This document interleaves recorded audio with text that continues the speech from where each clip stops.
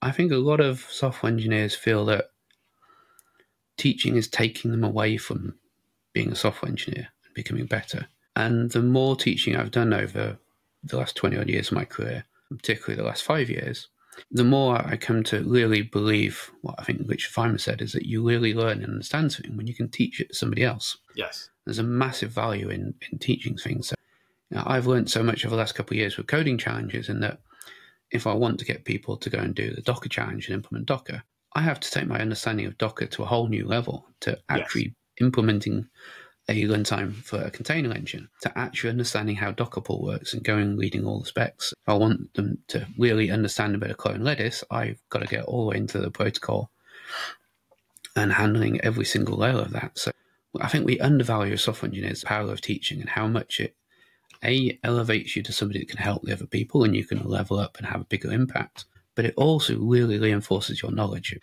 takes what you're understanding to that next level because you have to get to the next level mm-hmm. so you can cope with those questions.